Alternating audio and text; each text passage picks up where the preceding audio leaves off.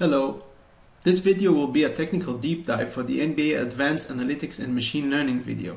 If you have not yet watched the first part, I suggest you start there. We will start with the NBA Talend Scraping job and see how it handles scraping challenges. We will look at the Talend Spark job that prepares data for machine learning in Spark SQL tables. And finally, we will take a closer look at the Databricks Python notebook and see how it helps analyzing and visualizing NBA stats. Our Talend job starts here. This job is designed to make all the API calls required for a given team and season. It's also sometimes called scraping. First call will fetch a list of games for the given team and season based on parameters. There are a few challenges this job needs to overcome. First, we want to avoid repeating the same calls twice by using a cache. Second, handle the API responses which contain multiple different CSV structures. Here you can see I have made a call for a specific game ID and the response has essentially two different datasets with two different headers. The first is for players, followed by the CSV. Then we have a header for teams followed by another CSV. The job needs to be able to determine that automatically with these lines of code and then save the file with the right name, either players or teams. To save time and to make sure we never fetch the same game twice, we keep a file with all the game IDs we've collected. This way the process will always be resumable and will fetch only new games. The third job will run on the Databricks cluster and is responsible to join and prepare the data. Let's take a look on what is the difference between preparing data for SQL and machine learning. What is feature creation and how we can create Spark SQL tables in a Talend job. If you want to know how to configure your Spark job to run on a Databricks cluster, please check my Databricks technical tutorial video. This flow creates datasets differently for machine learning and Spark SQL. In some cases I am writing the data as Parquet, while in the other, depending on the way I will use it later in Python, I prefer to write it as CSV. For SQL tables, I can use any type of data, while for machine learning, I would prefer writing only data that can be used as features for the algorithm. So things like game, dates, and team ID might not be relevant. Machine learning data will usually include only doubles or floats and not strings, so I have to convert the types. One common advice machine learning experts have for beginners is focus on feature engineering and creation. There are two ways to create new features that are not part of your dataset.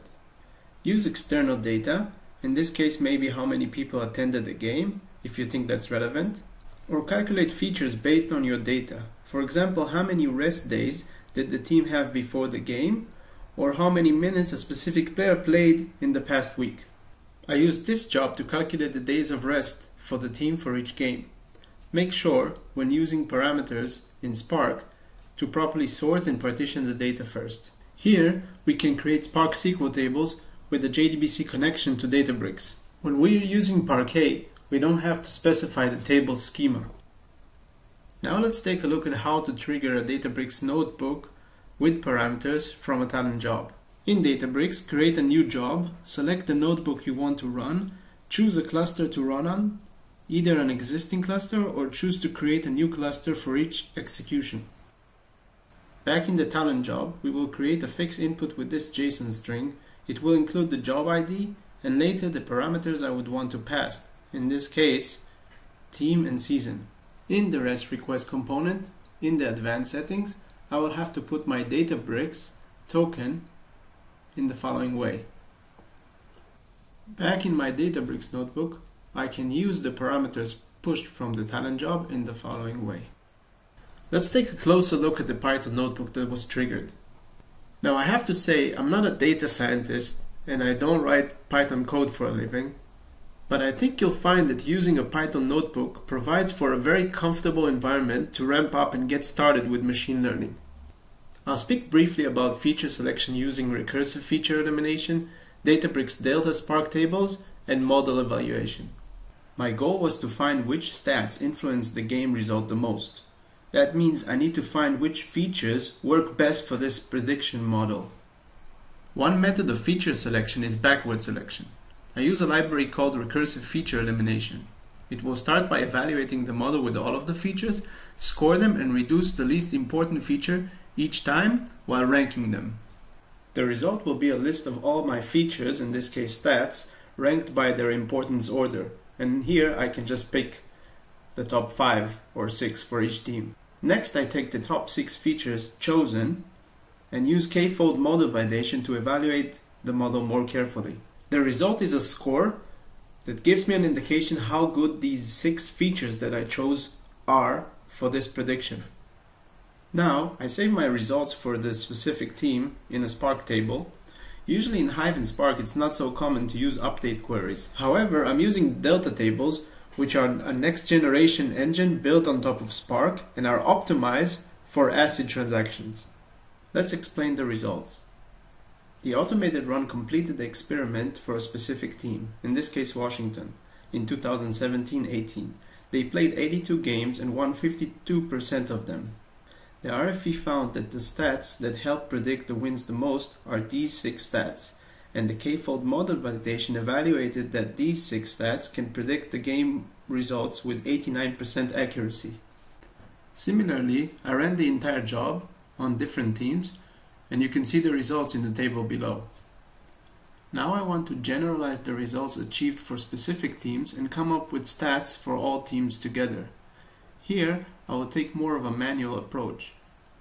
It helps that I can visualize the results I have so far and see which stats repeat for different teams the most.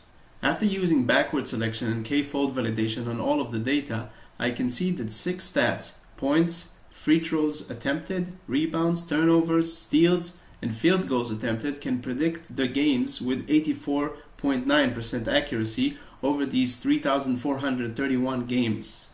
If I use all 33 stats I have, I can go up to 85.7% accuracy, which is not that different. But these six are the most important stats according to this. If I remove one of them, I get a big drop off in the accuracy. For example, removing points from the model will reduce the accuracy to 71.3%. The other notebook that was triggered conducted a similar experiment for specific players and you can see some of the results here. For example, for LeBron, it's 3 points made and assists, while for Joel Embiid, it's minutes played. Finally, my Talend job created some tables with teams and players data. I use these tables in a separate dashboard to visualize SQL queries. Here I can query whatever question comes to my mind for example, who takes the most threes in Houston versus who runs the longest distance during a game. So basically you can use this dashboard to build whatever you would like to see. Thank you for watching. See you next time.